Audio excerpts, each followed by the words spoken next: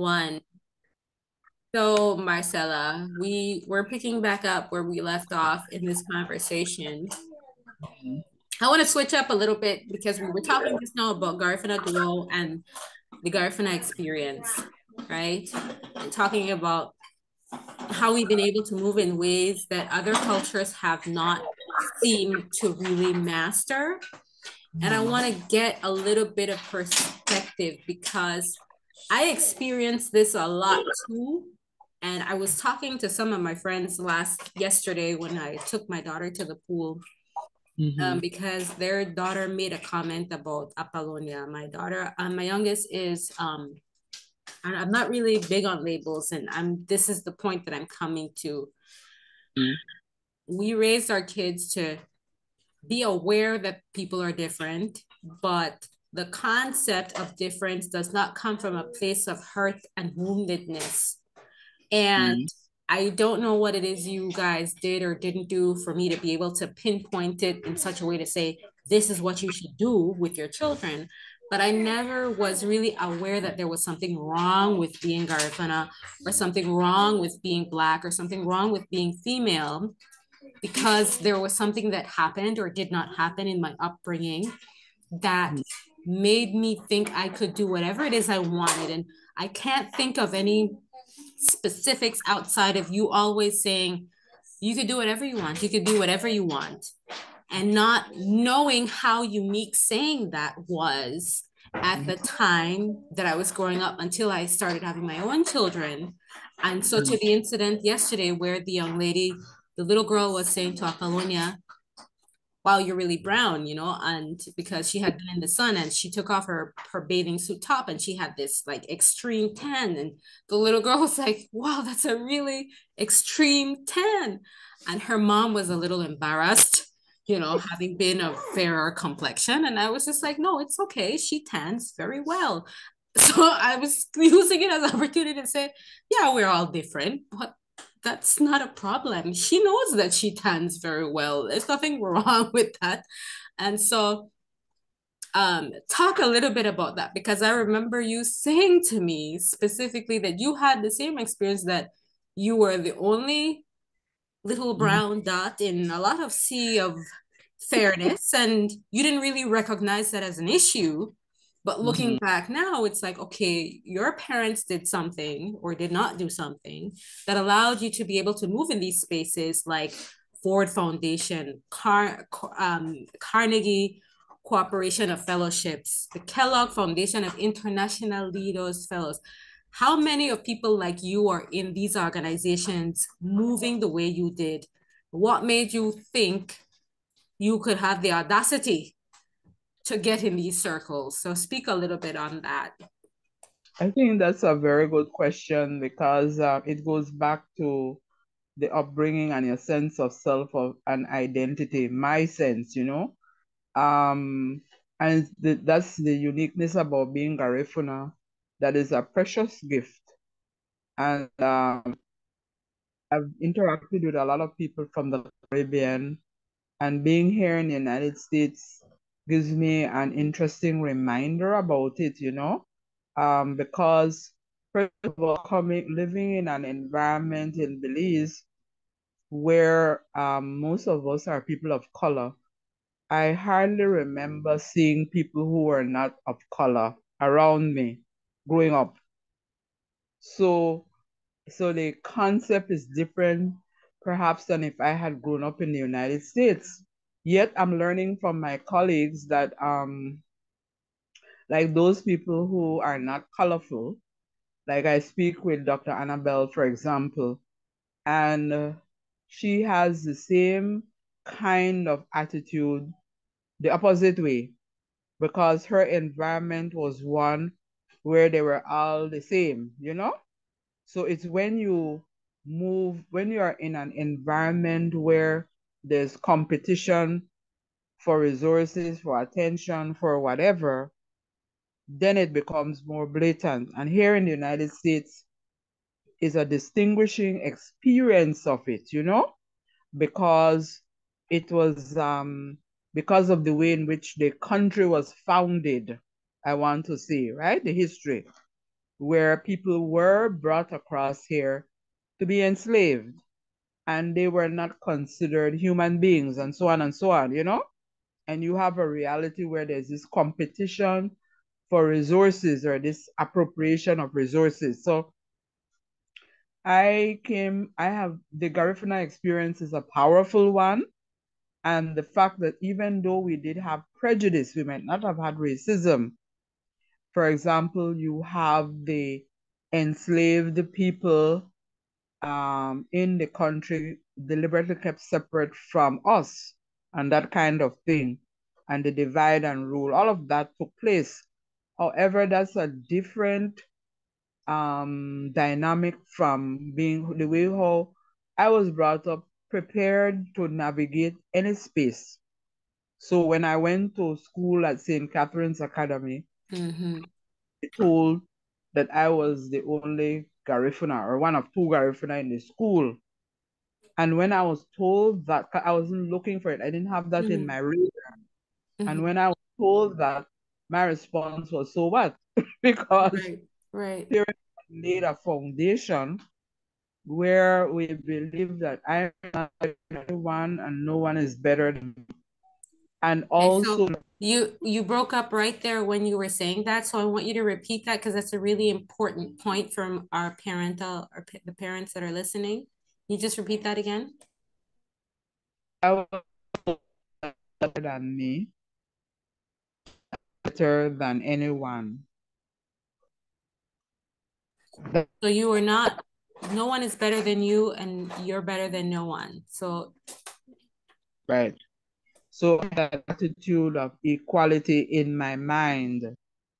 So if someone was treating me um, negative, I would immediately be like blatantly abusive, you know? When it came to um oh I was valued or devalued.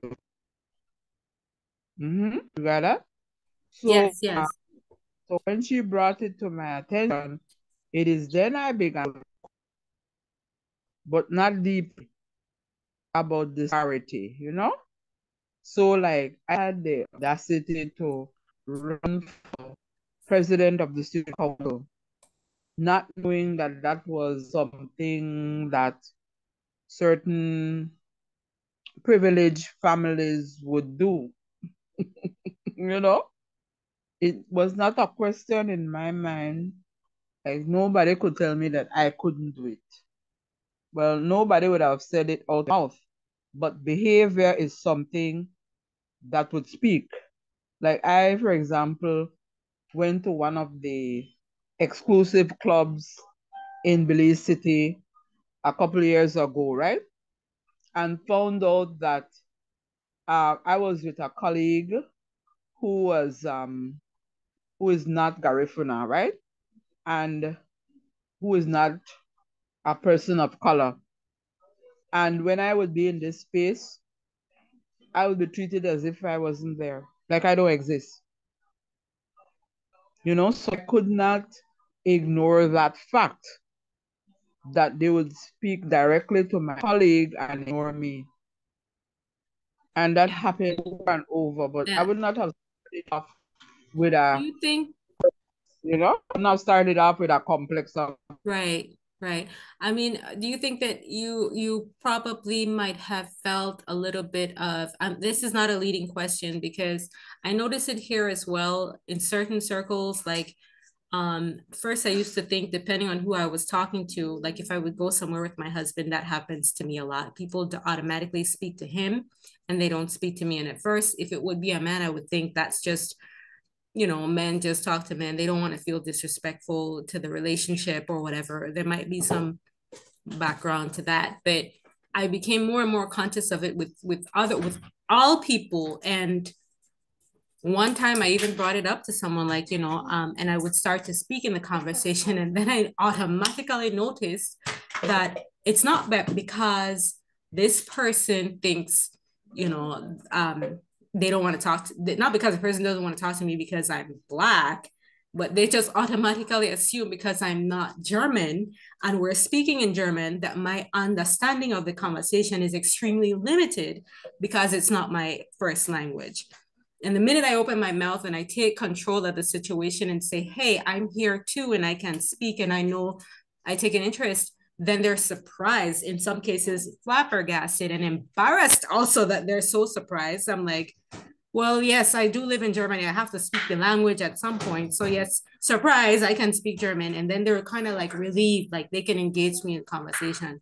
But if I can come in the conversation with this complex, like you said, like, oh, nobody don't want to talk to me because I'm Black, then you miss out on giving people an opportunity to really interact with you. And it's so it's it's really sometimes about approach, but do you think that in some cases like you know it had to be brought to your attention that maybe because it, you didn't come in with that awareness that ignorance was probably bliss? Or is it really a thing of it's really dependent on the person and the upbringing?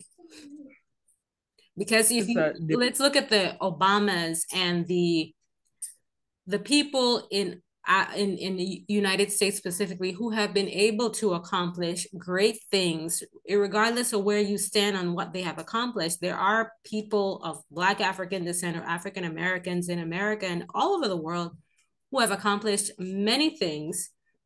Do you think that what is so unique and different and special about these people that we can say, you know, there is something to being able to walk and be in certain circles without having to be too aware of the differences that we have. Before I respond, I want to uh, mention that I don't want to downplay institutionalized racism. I don't want to downplay that fact, you know, meaning that um, when I was to go to South Africa, um, we were told that we needed to get a document making us honorary white. So that really helped in my journey of understanding that is not how I think, how I feel, and how I behave that is the reality. But um, and also that there are actually people who intentionally keep people out because of their color, and it couple of ways nowadays, but it's still meaning that certain clubs you can only get into if you can pay a certain amount of money.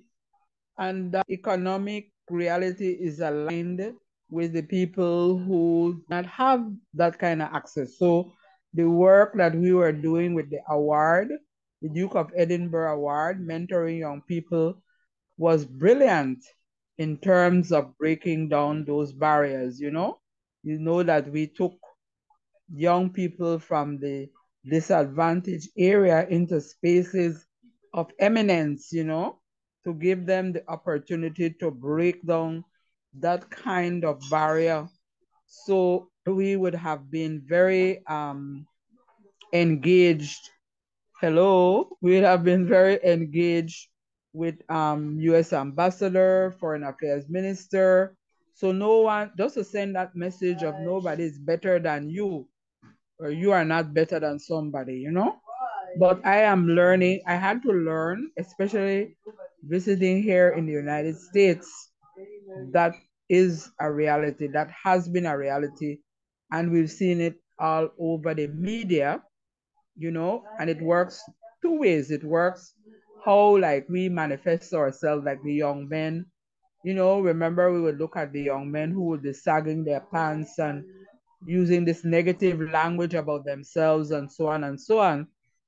So trauma would be an element of conversation because everybody gets traumatized in the experience, you know.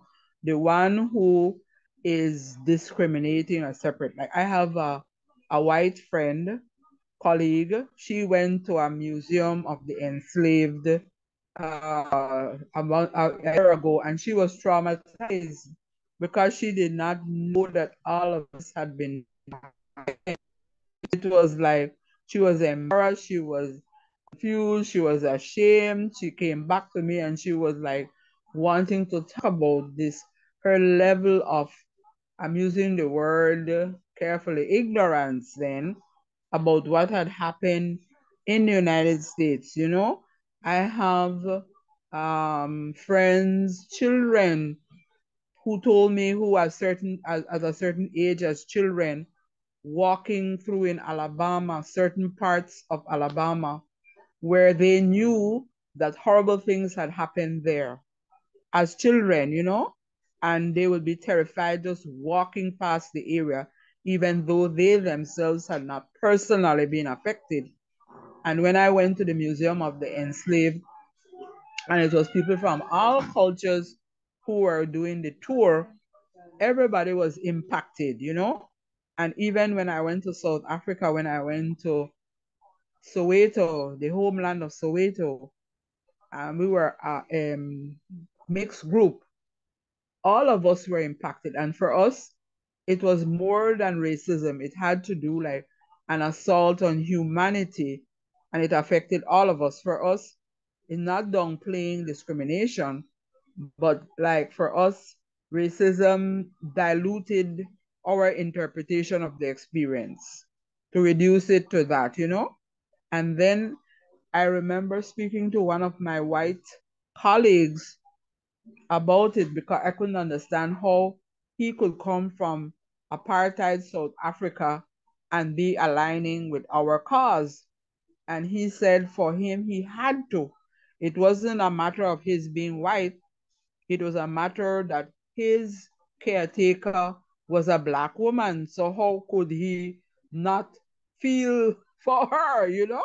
So it's a lot of, it's not black and white in a sense, you know, literally and figuratively speaking. It's our experience and engaging with humanity that I would like to explore. This is what Garifuna brings into the conversation. Garifuna brings healing. Garifuna is like a balm we Garifuna people. So when I was dancing with the prince from uh, when he visited Belize, you know, Prince William, Kate and William, mm-hmm. yeah, William, and we were dancing, and um, I said to him, "We are dancing to heal our relationships with one another." And I was critiqued by many of my Garifuna people because their um, take on it and people of color was that here I am like dancing with the enemy in quotation marks, right? And I said to them, no, we have to move forward in our interaction and healing of each other. And what I said to Prince William was that dancing is not entertainment. Garifuna culture is not performance or entertainment. It's a healing of ourselves. When we are in the Dabuyaba, we are reenacting some of the trauma that we went through to erase it.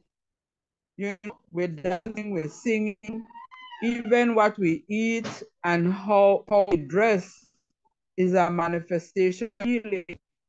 And that resonates people as well that resonates with other people as well. So um, you talk about the interaction, and this seems to be something that is a common thread uh, within the Garifuna spirituality and Garifuna culture is the ability or the need or the the um, the desire to want to interact with other cultures for more peace and healing among ourselves.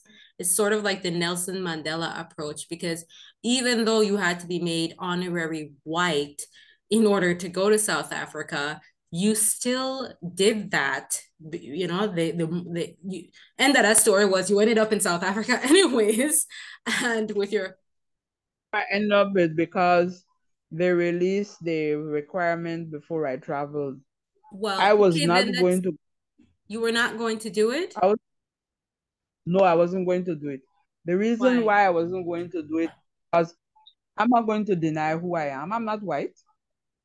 I couldn't. I couldn't pretend to be who I am not. So I did not. But anyway, I didn't have to do that. But I had made a decision that That you if that is what it.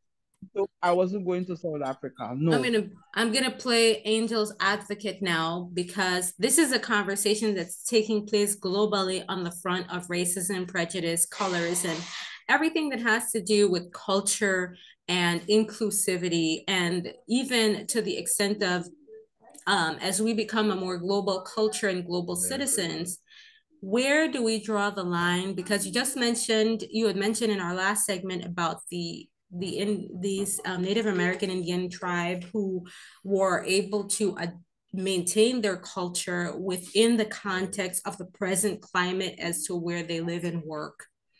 So that's an example of adopting or hybriding your culture. I know I spoke about this at one of the Garifuna Nation meetings and was met with some mixed feelings for the very reason that we want to be able to maintain our cultures but there that doesn't that's not that is going to come at a cost or there are going to have it seems that certain compromises are going to have to be made and so how do you reconcile those compromises and where do you know where where do you know what to compromise and what not to compromise because it seems to me that that you know your principles in certain areas of your life are not always what is for the greater good of the culture. And if you want to be able to survive in the current climate, you're going to have to be able to leave certain things behind.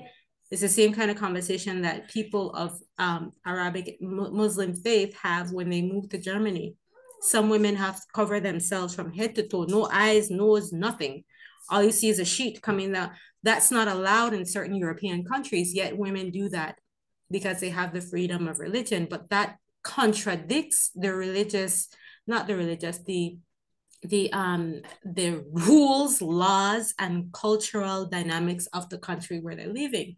Well, these people are fleeing religious persecution. Yet you as a Christian walk down the street with a cross, you will be persecuted by Germans, Muslims, everybody, because it is no longer acceptable. And so people hide in secret and pray if they're of a certain faith, for example, here. So my question goes back to the principle of what is what principles are, you know, are are can you maybe compromise in order for the greater good? Because it wasn't just about you going to South Africa, it was about going to South Africa to represent a people in a space that is important for this representation to be taking place. That's a very good point, and I actually had a dilemma with it. You know, um, I when I was um, presented with it, I, my attitude initially was um, put me on the next plane back home right now. I will not participate in this conversation. However, my facilitator spoke with me along the lines you are talking, and um, I decided to listen because of who I represent. However, it's a personal choice, and this is where one has to decide and draw the line, you know? So, like, there are some Garifuna who refuse to be enslaved and they rather die and jump over a cliff than be enslaved as they were being pursued by the Europeans. And there are some Garifuna who decided that they would acquiesce, you know? So I'm not seeing it as good or bad, you know? It's just choice. I made certain decisions in my life where, for example, I was experiencing a sexual harassment situation and I was told to do something to deny that it had happened. I was to write a document to say that it never took place. I made the choice that I wasn't going to lie you know, I have to live it myself. I have to live with truth. As a result of making that decision, I lost a top job and position in the Caribbean. I have no regrets about doing that, even though I suffered and I was ostracized as a result. It's a principle I chose to take. You know what I'm saying? I had to learn to live with myself and live with truth. So it's a personal choice many times and I'm thankful that I made the choice because years later, and so many children later, the very people who were critiquing me are now celebrating me. You know, it's about time and timing and holding your ground, and sometimes you stand alone. It's whether you are willing to pay the price. So that's a moral decision that each person or people need to take, you know? Deep. Um, so so deep.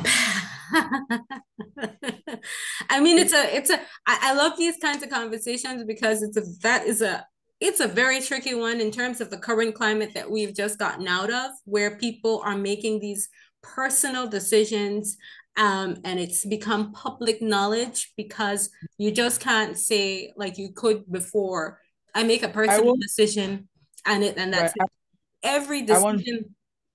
Sorry, go ahead. One judge, there are people, for example, no, no, no, that's here in the United States, right? Mm-hmm. And let's say stopped by the immigration people, or let's say you are asked where you are a U.S. citizen. Some people lie and say, Yes, I am. I never lie. I never, never lie. When I was asked whether I am a US citizen, a particular situation, I said, No, I'm not. And, you know, for some people, when you say, No, I am not, that has an impact on your status. You could be deported. You go through all kind of thing. Well, I will be the one who will go through the all kind of thing and live with myself, you know, but it's not a judgment call. Whoever does it, you know I'm saying? I'm saying me personally will not lie. I am not a US citizen. I won't say that I am. A lot of people would say that, and it's not the truth. So it's a judgment call for the person, the individual, you know? Mm-hmm. But those principles that I stand by. Um, so let me continue along those lines because we talk about family and being family oriented. Are some of the decisions that you made, or any of the decisions that you made as an individual, have had an impact on your um, your family life? Um, and and is honesty always the best policy? For me, honesty is always the best policy. All right. And I am willing to pay the price. And yes, I suffered because of being honest. And um, it has had an impact because other uh, interpretation or expectation of you or of me could be different, no?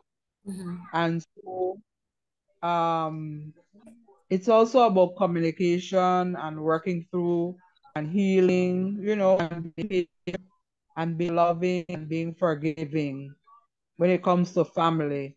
The family dynamic um, is very different from the community village dynamic, although it takes families to uh, make up community.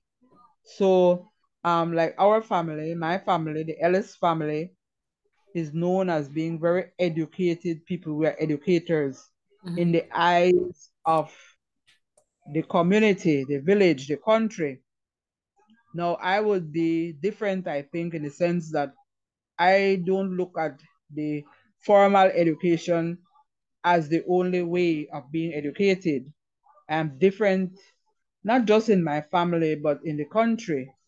I celebrate people who are not doctors and, you know, people who have gone to university and so on. And so my responsibility or my passion is to uplift and to identify the people like your great grandmother who did not go to primary school but was able to navigate systems in Central America to do trading, right? And she was very practical, practical and hands-on. Um, Dr. Narciso Torres, right? Who yeah. recently, because of me, my effort, uh, along with Dr. Anabel Ford, mm-hmm. were able to have him get the Chancellor's Award. This man did. Guys, let me just take a pin in that. If you guys want to check out that video where I interviewed Dr. Ford on her work with forest gardeners and um, Dr. Narciso, you can check out my other video. I'm going to post it either here or here or somewhere along the screen so you guys can go check that out. Okay, continue. Yeah, so what I am, my spirit and uh, energy is walking the talk, making lemonade out of lemons, changing the narrative to set an example, you know. So it's not dwelling on I pour me one, everything for pour me one, but to really intentionally identify those people, those hidden heroes who would be taken for granted. Like yeah. Regina Martinez, the mother of 14 children, Adrian's mom. Mm-hmm. No, this woman did not finish primary high. She didn't go to high school, but she's one of the pioneers of women's movement and organizing in so the country. You, yeah, so you talking about women's um, movement and organizing. You did a lot of organizing in Belize and in the region, uh, in the Caribbean region. Um, you worked with the Belize Human Rights Commission. You worked with the Belize Community of Women in Development. You worked with the Belize Union of Students and Youth, the Belize Rural Women's Association. I actually remember a lot of your work there.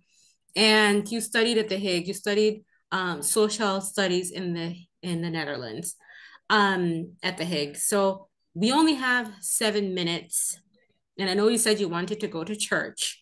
I'm trying to capitalize on your time while I still have you before you flit and flight off somewhere else. So should I go top down or bottom up? We want to start with The Hague or should we start with Belize Human Rights Commission?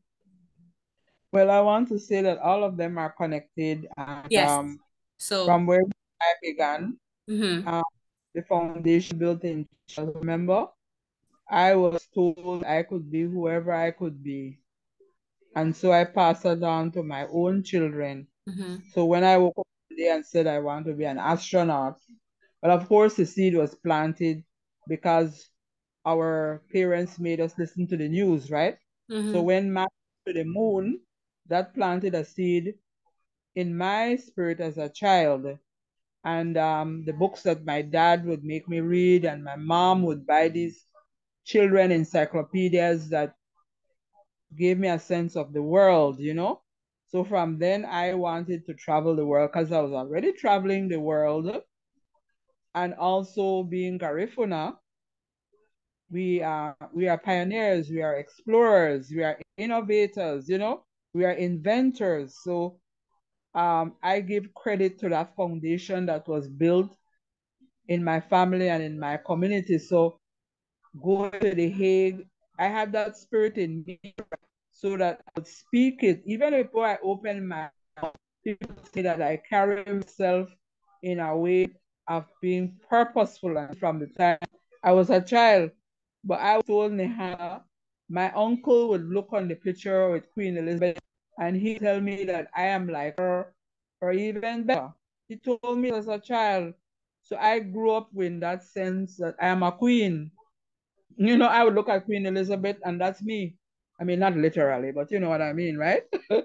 and so the journey was having that openness to pioneer. It wasn't just, well, oh, we have these problems, what um that nothing can be done about it. It would be like, so we have these problems, which I call challenges. What can we do? And so all those things that you talk about, I pioneered them. For me, there's always a solution. And now that I'm deeper relationship with God, I know and believe that I am made, we are made in images and likeness of God. And therefore, with God, all things are possible. So with that, it's not me physically Cynthia, but my relationship with God that gives the calling and makes these things happen. You have to do in my mindset, you can do and do something about the challenges, not talk about you know? When COVID, remember right. in the height of COVID, I traveled, I traveled the most ever in the height of COVID because of the mindset. They we break the poverty mindset, change the language. We are not poor. We're not broken. I'm not broke. I'm not, nobody tell me I broke. I could have two dollars in my pocket and I don't receive that as who I am, you know? It's like, how do I navigate in the world, in the universe, where the resources are. And shame on me if I have all these resources and I'm not leveraging them or developing them. Right. I'm making an excuse. And so it's my responsibility. This is how I've always been to find out, to turn over every soul, every stone, every treasure. If I don't have it or if I don't know, there is someone who has it. There's someone who knows. And if the person is not in my immediate environment, in my country, well, they are somewhere in the world, especially now with access to technology, you know? We just decree and declare it. I am a millionaire. I am a billionaire. And I mean it. Step into the power of it right now. No such thing as poverty. You know that. Amen. I would, I would take you to um the lady who was a millionaire, Dani Johnson, right? Mm-hmm. Beautiful well, I think that you raise a really important point about having the right attitude about making sure that there is a solution to problems and finding those solutions.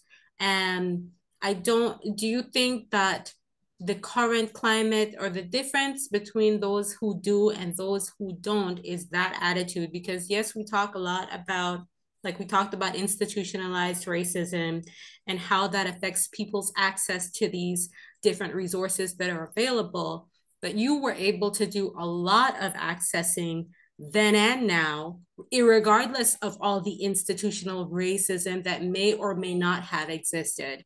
And what, so I, it brings me back to the question that we don't really have a lot of time to explore today, but we definitely will later on the step by step process from generation to generation. What needs to happen? And if you are not of those um, uh, mindset or philosophy, if you don't come from that, there is a lot of unlearning and deprogramming that needs to take place in order for you to get there. It's not impossible. And also, I want to add to that that it is not unique to people of color or people of Black African descent. I and I know that triggers some Black Af- you know africans black people whoever you want to call yourself i know it's also really offensive in some circles to call people of color people of color. But non-white people tend to think that this is just a non-white people problem. If you listen to some like i live in europe and if you listen to some of the people of european descent who live here in germany and who live around this area talk they sound exactly like some of the people that i have grown up with having the same kinds of feelings of discrimination and marginalization. And that just make my eyeballs pop open because not a lot of no seriously not a lot of us have that experience to realize how important interconnectivity is. Because the problem people get triggered by this is not a racial problem. It is a humanitarian problem and it has always been. But the fact that we focus so much on it's only black people or it's only hispanic people or it's only jewish it's not. It is a humanitarian problem. The uh, the has and the have nots